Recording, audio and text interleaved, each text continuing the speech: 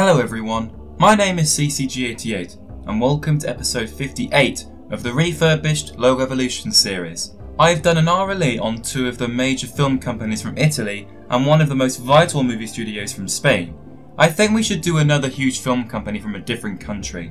Let's go to Germany and have a look at Constantin Film. Constantin was founded in Frankfurt, Germany on April 1st, 1950 as Constantin Filmverleih GmbH. The last part stands for that, which means Company with Limited Liability in English. In the beginning, the company mainly distributed films in Germany, which were produced by Columbia and United Artists. In 1964, they became Constantin Film, and a year later, another German organisation called Bertelsmann became Constantin's shareholder. They wanted to improve the company's output, but this only decreased their popularity. They also wanted to release adulterated films and distribute even more movies from other countries, rather than shooting their own. In 1969, Bertelsmann sold Constantin, and they were bankrupt by 1977, essentially killing the company. However, two years later, a man called Bernd Eichinger acquired the remaining rights and brought Constantin back to life. At that time, they were known as New Constantin Film. They fixed their position as the years followed and remained open to this day. They might have been founded in 1950, but they've only had five logos so far, with the first one starting in 1962.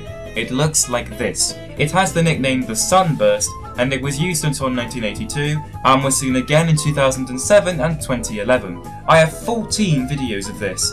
Three are in black and white. The original version from 1962 is what's on screen now.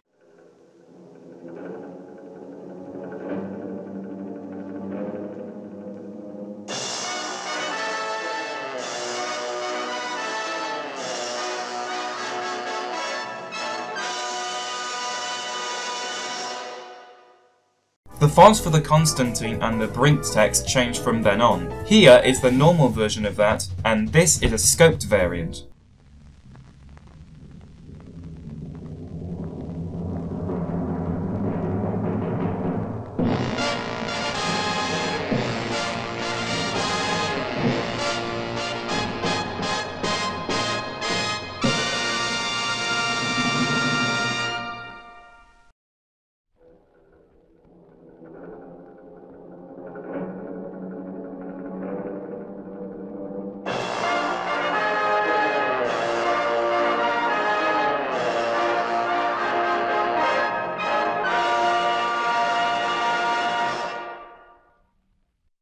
The remaining 11 videos are in colour. The colours vary. Six of them have a strong blue background. It might have looked more purple because of deterioration.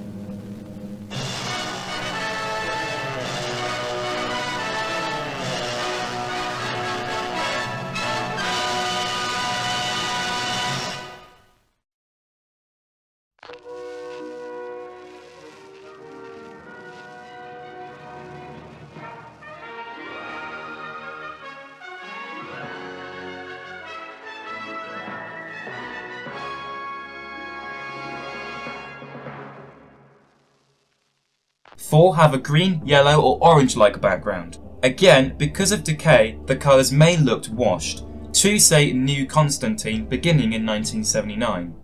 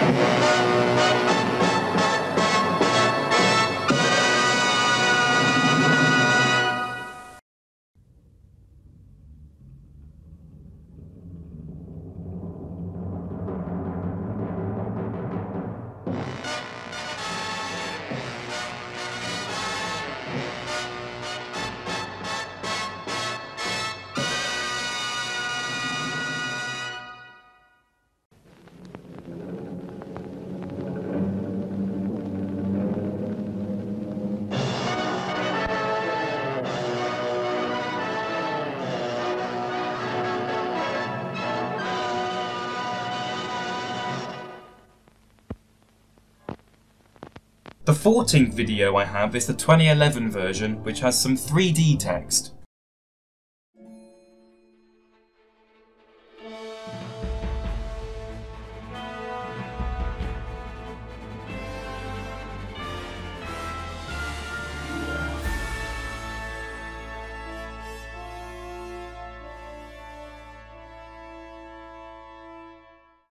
This is a logo that has scared some people, and they've always blamed the music. I don't think the tune is scary, but I sort of think it's unnecessary. Nevertheless, I do like it, and it does remain a favourite to many. Now, unfortunately, I couldn't find any footage for the next logo, but it isn't entirely that disappointing since it's a still. Here's what it looks like. Let's call it Boring Constantine for now. It was apparently used from 1984 to 1996. This might have been used for 12 years, but only two films are listed on the CLG Wiki, The Neverending Story and The Name of the Rose. I checked German prints for both films and both were plastered. Also, the new at the top is missing an E. They do fix the spelling with the next logo, which is also a still. Here it is. We'll name it Boring Constantine 2. I believe it was used from 1987 to 1996, but I could be wrong. I have three videos. Two have a black background,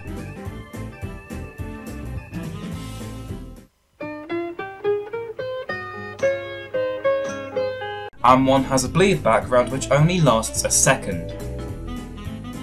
It's nothing special, but at least the spelling mistake has been fixed. These two logos are very forgettable. Not only are they boring, but they've also been plastered by this. Welcome to the Constantine film reel. This was introduced in 1996 and is still in use today. I have five videos. When this logo came out, the text was red.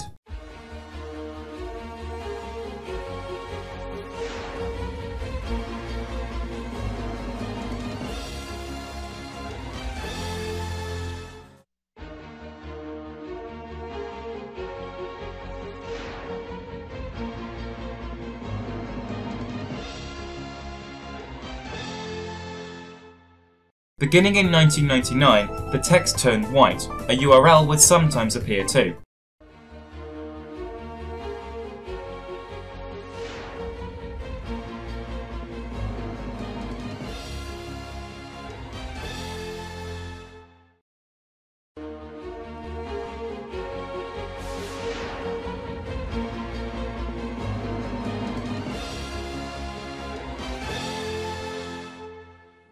I also have a version with yellow coloured text.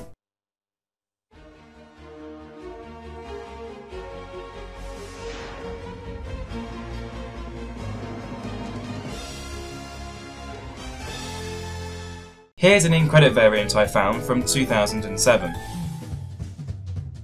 I'm not that mad that this logo plasters older ones. It's neatly animated for 1996 and it's still cool to see 23 years later. My only complaint though is that when the text finally appears at the end, it cuts too quickly and unexpectedly. The music fits and is overall a very decent logo. In 2010, they launched a new logo to be used in tandem with the previous opener. The last logo today looks like this. We settled on the name Constantine Skyline and it's been in use since 2010.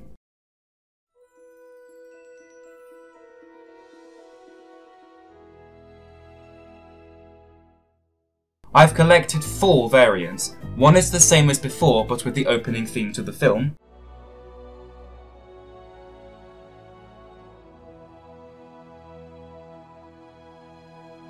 One's a full logo on a black background, also with the opening music.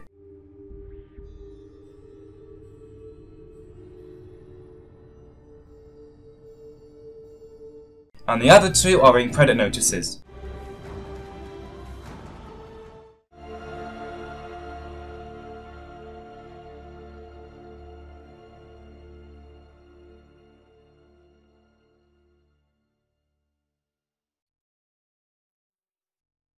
This might be simpler than what they had antecedently, but it still has great CGI. It has some effort. You don't need to have a lot of computer animation involved in order to make a fantastic logo. I really wish Constantine had more logos to be honest because of how good their main ones are. I'm glad they've been consistent with them though. Whatever comes up next will hopefully be a decent sight. For now, I'd like to thank all of you for watching this episode. I really hope you enjoyed it. I shall see you all next time. Goodbye!